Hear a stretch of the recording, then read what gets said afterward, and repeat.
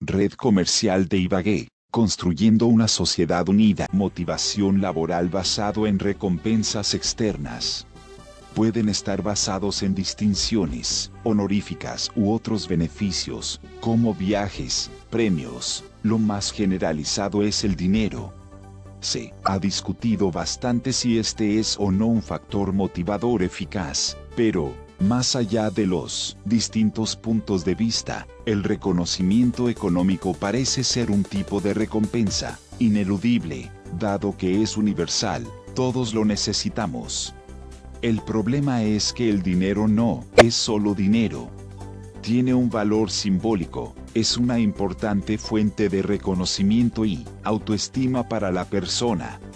Esto explica que produzca tanta satisfacción o insatisfacción. Para que el dinero realmente produzca un cambio significativo en el desempeño, se requiere que el plus, premio o diferencia de lo estándar sea también significativo.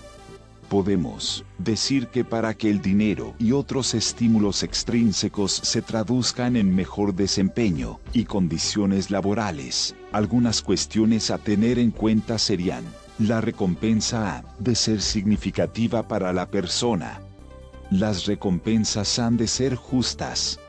Las recompensas extraordinarias han de estar claramente vinculadas con el buen desempeño. Según este enfoque, las personas necesitan percibir un equilibrio entre la propia relación, insumos resultados.